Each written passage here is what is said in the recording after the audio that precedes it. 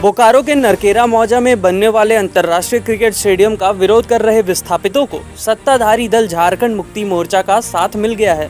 इस मामले में झारखंड मुक्ति मोर्चा के बोकारो जिला अध्यक्ष हीरालाल मांझी ने बोकारो परिषदन से मीडिया से बात करते हुए विवादित बयान देकर कहा है कि अगर बोकारो विधायक उक्त ज़मीन में जाते हैं तो उनका हाथ पैर तोड़ने का काम किया जाएगा।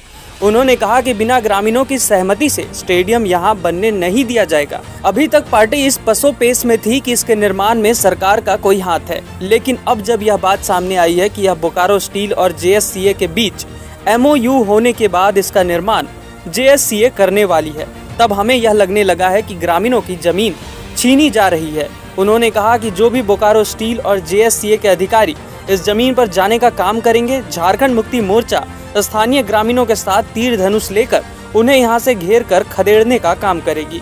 उन्होंने कहा कि बोकारो जिला प्रशासन के अधिकारी भी ग्रामीणों के प्रति अपना जिम्मेदाराना पूर्व रवैया नहीं दिखा रहे इसलिए इनका भी विरोध किया जाएगा। बताते चले कि बलीडीह के नरकेरा मौजा में अंतर्राष्ट्रीय क्रिकेट स्टेडियम बनाने के लिए बोकारो स्टील और जेएससीए के बीच एमओयू हुआ है। इसके बाद नरकेरा के विस्थापितों ने स्टेडियम निर्माण का विरोध किया है और इसी को लेकर बोकारो विधायक का भी विरोध किया जा रहा है। सरकार की पहल कहीं शुरू नहीं हुई है। ये बीएसएल का अपना व्यक्तिगत जो है वो क्रिकेट एसोसिएशन बोर्ड के साथ में एमयू किया और बिना रैयत को पूछे हुए किया। अभी तक हम लोग कन्फ्यूज़न में थे कि सरकार कर रही है या कौन कर रहा है। लेकिन अब क्लियर है कि उसमें सरकार का किसी तरह का हस्तक्षेप नहीं है।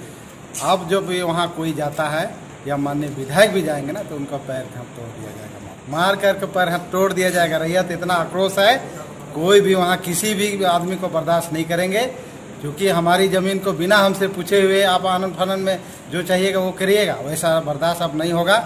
रैयतों को यहाँ कुचला जा रहा है, दबाया जा रहा है, इसलिए जो भी जाएगा, कोई अफसर जाए, या कोई भी एसोसिएशन के लोग आए, यहाँ पर घुसने नहीं दिया जाएगा।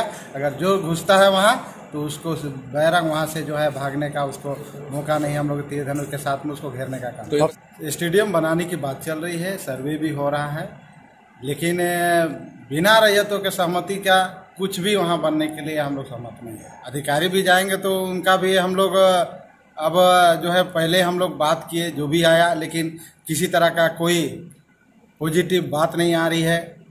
रैयत अपना बात रखे हैं। कल भी मीटिंग हुई है। उसमें बात, वार्ता हुई, लेकिन हमें जिस तरह से लग रहा है, रैयतों का कोई बात को अगर नहीं सुना जा रहा है तो उनका भी विरोध किया जाएगा।